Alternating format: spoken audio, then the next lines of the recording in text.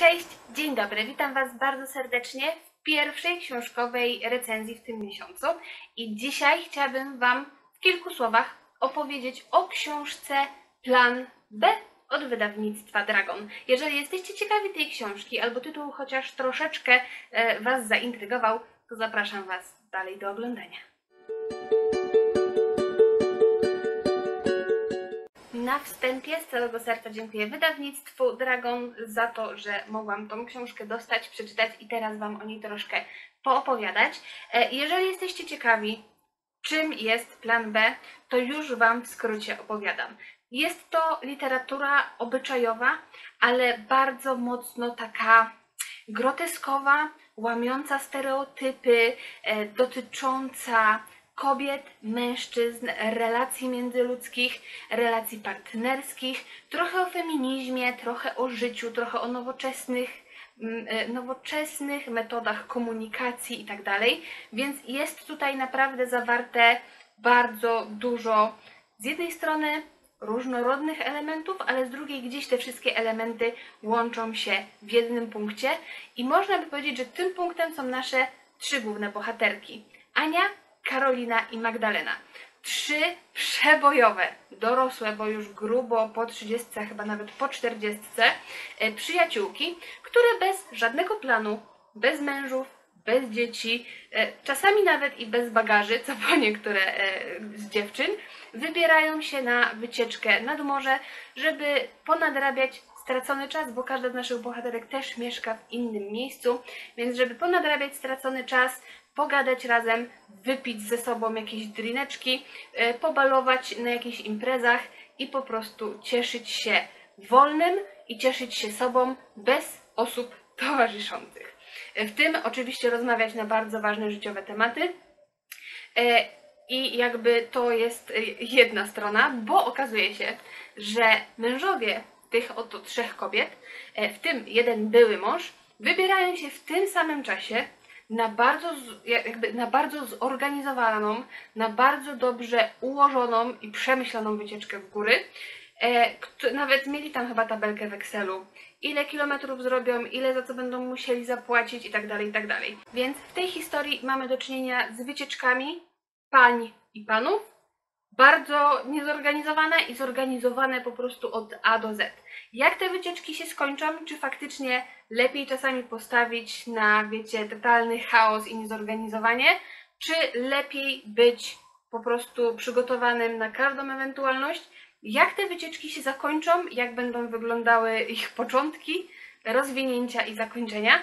O tym musicie przekonać się sami. Jednak najważniejszą rzeczą w tej książce wydaje mi się to, że jakby ten element wycieczek i ten element zorganizowania albo totalnego chaosu jest takim dodatkowym elementem. To są takie momenty w tych historiach, które mają nas rozbawić, rozluźnić i naprawdę czytając to, jak radzą sobie dziewczyny, jak radzą sobie panowie, e, e, sprawia to, że, że po prostu się śmiałam e, w tych momentach, bo było to zabawne. Natomiast większość książki jest w szczególności skupiona na relacjach. I to na relacjach zawodowych, na relacjach rodzinnych, na relacjach partnerskich i chyba na tych relacjach partnerskich, na tych relacjach w związkach jest taki, wydaje mi się, największy nacisk. Bo mamy bohaterkę, która jest po rozwodzie i która z jednej strony boi się ładować w jakieś, wiecie, kolejne związki, bo ma za sobą kilka tych związków nieudanych, w tym jeden rozwód, e, która jest bardzo błyskotliwa, bardzo inteligentna, jest piękną kobietą, jest mądra i jakby ona stawia na to, że trzeba po prostu ze sobą rozmawiać, trzeba szczerze i otwarcie mówić, na co nam zależy. I nie wiem, czy mężczyzn to nie odstrasza, albo z jednej strony, gdy chcą ją poderwać, to wiecie, mówią jacy to są szczerzy, jacy otwarci, jak po prostu to, że ona wali wszystko z mostu, jest po prostu najpiękniejszą rzeczą na świecie i oni takie kobiety doceniają, a później nagle uciekają. I wiecie, rozkochują ją w sobie, po czym zostawiają ją na lodzie bez żadnej informacji i jakby to, ta cała taka fasada bycia, wiecie, szczerym, otwartym i e, osobą zależącą nam na komunikacji w obie strony w ogóle lega w gruzach i nasza jedna bohaterka po prostu nie wie, czy jest w stanie zaufać kolejnej osobie. Mamy bohaterkę, która e, jest w małżeństwie ileś lat, ale ma już po prostu momentami dość swojego męża, który uważa, że ona jest totalnie niezorganizowana, że ona nie, mimo tego, że jest dorosłą kobietą, totalnie nie potrafi się sobą zająć, że gdyby nie on, to ona by nawet po prostu, nie wiem, nie potrafiła trafić z domu do pracy i z pracy do domu, e, bo on musi po prostu, wiecie, wszystko kontrolować, nad wszystkim czuwać. I tak jak już gdzieś wspomniałam jakiejś rozpisce z Excela, tak tutaj ten jej mąż po prostu tak bardzo musi kontrolować całe swoje, ale także jej życie, że czasami nawet do najprostszych rzeczy, najprostszych wyjazdów, najprostszych czynności przygotowuje swojej żonie rozpiskę w Excelu. I dziewczyna po prostu w pewnym momencie ma już tego dość i z jednej strony nie ma jej się co dziwić. Więc gdy na jej drodze pojawia się mężczyzna, w którym była zakochana po uszy jej taka chyba największa miłość przed poznaniem swojego męża, e, gdy on pojawia się znowu na jej drodze, no to chyba ten nowy mężczyzna, nowy stary mężczyzna, dosyć mocno może tutaj po prostu namieszać w jej życiu. I trzecia bohaterka wydawałoby się, że taka najbardziej ustabilizowana w małżeństwie, e, okazuje się, że ma przyjaciela, dużo, dużo młodszego, który był chyba kiedyś jej wychowankiem. Teraz tak do końca nie pamiętam, a nie chcę też pomylić, ale jest to młody chłopak, e, bardzo przystojny, bardzo wysportowany, który jest na każde zawołanie naszej bohaterki. I mimo, że jej przyjaciółki zwracają jej na to uwagę, że e, wiesz, z jednej strony fajnie się przyjaźnić, cieszą się, że, e, że ma tak młodego przyjaciela, że się tak dobrze rozumieją, tak dobrze dogadują i w ogóle, to jednak niektóre ich zachowania mogą być takie, wiecie, ryzykowne. To, że ona uważa, że to wszystko jest robione tylko i wyłącznie na stopie przyjacielskiej, że tutaj nie wchodzi jakby żaden romans, żaden aspekt erotyczny w ogóle w tą ich relację, to nigdy nie wiadomo, co myśli sobie druga strona. Już nie mówiąc o tym, co myśli sobie mąż naszej głównej bohaterki. Ale ta nasza konkretna bohaterka dzięki tym dwóm mężczyznom w swoim życiu, tym, który jest jej mężem i tym, który jest jej najlepszym przyjacielem, ten, tym, który jest stabilny, spokojny, zrównoważony i tym, na którego zawsze może liczyć, z którym zawsze może się gdzieś wyszaleć i po prostu porozmawiać o wszystkim, jest taką iskierką energii w jej życiu, ona czuje, że dzięki temu jej życie jest tak zbilansowane i tak po prostu dobrze ułożone, że ona niczego więcej w życiu nie potrzebuje. I jak widzicie, nasze bohaterki są bardzo różne. Mają przeróżne doświadczenia z przeszłości, przeróżne doświadczenia, które aktualnie na nie wpływają. Mają różnych partnerów, różne oczekiwania względem życia, różne doświadczenia zawodowe. y, Mieszkają w różnych tak naprawdę miejscach w Polsce. e, I jakby tutaj głównym, główną osią tej książki jest tak naprawdę pokazanie czytelnikowi, że jakiego związku byśmy nie mieli. To jest w ogóle historia, w którą wydaje mi się, że każdy z nas mógłby się wczuć i odnaleźć relację, w której aktualnie się znajdujemy i w której moglibyśmy jakby zaczerpnąć pewne podpowiedzi, co zrobić z naszym związkiem, skoro jest podobny do tego związku, który jest w książce, ale też pokazuje nam takie podpowiedzi, jak nawet jeżeli nawet jeżeli nie czujecie, że wasz związek, wasza relacja z partnerem jest gdzieś w tej książce umiejscowiona, to mimo tego jest cała masa takich podpowiedzi, takich informacji, jak z tą drugą osobą w tym związku rozmawiać, jak układać sobie poniekąd trochę życie i nasze relacje, żeby żyło nam się dobrze, a nawet jeszcze lepiej. Jak rozwiązywać problemy, jak do niektórych rzeczy po prostu podchodzić. I powiem Wam, że jest to bardzo nietypowa książka, bo ja czytając, że jest to e, literatura obyczajowa, to spodziewałam się czegoś totalnie innego. W sensie ja liczyłam bardziej właśnie, że ta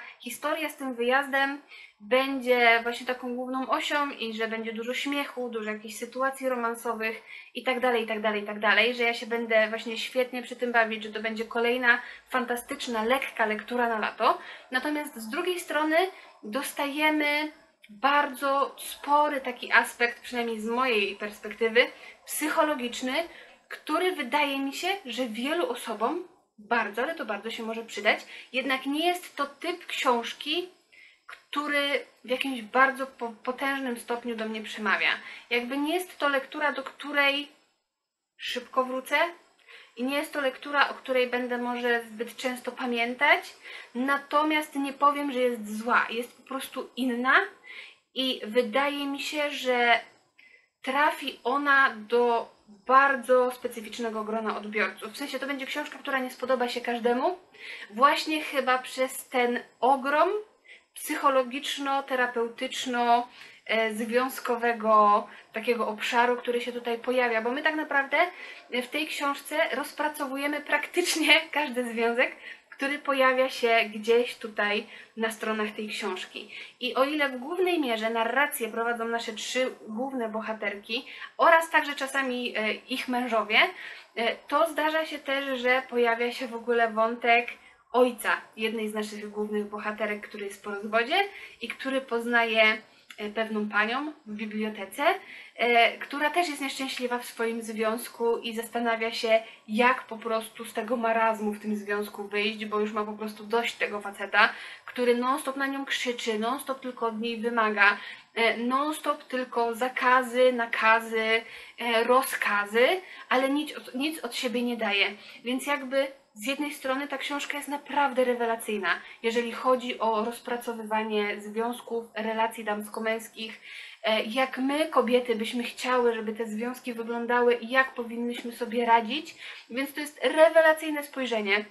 W szczególności, że na te związki patrzymy nie tylko z perspektywy on-ona, czyli osób, które są w tym związku, ale także z perspektywy szerszego otoczenia.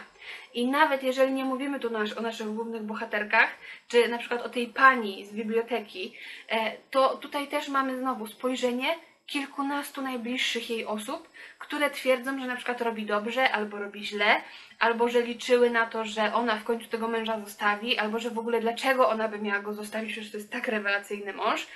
Nie wiem, czy czujecie o co mi chodzi, ale jakby to rozpracowywanie związków jest w tej książce naprawdę bardzo ważne i uważam to za jeden z lepszych elementów, naprawdę fantastycznych, ale to nie jest to, czego ja się po tej książce spodziewałam i jakby to nie jest to, po co ja chciałam w tym konkretnym danym momencie sięgnąć e, i po prostu nie wiem, czy styl autorki pani e, Ani Malinowskiej do mnie tak do końca trafia.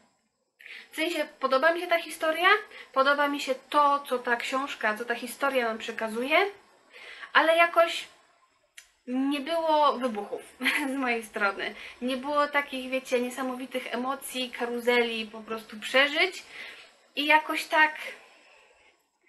No dla mnie, jeżeli miałabym tą książkę ocenić już po przeczytaniu tylko i wyłącznie na podstawie moich e, gustów czytelniczych, to dla mnie to by była taka średnia książka. Ale mówię, ja nie czuję się osobą, do której ta książka byłaby w 100% po prostu kierowana.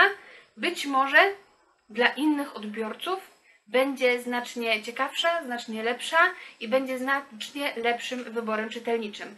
Ale to, że dla mnie jest średnia, totalnie jej nie przekreśla, bo tak jak mówię, wspomina o bardzo ważnych elementach, o bardzo ważnych rzeczach, których ja może nie do końca jestem w stanie aktualnie zastosować do własnego życia i do własnego związku.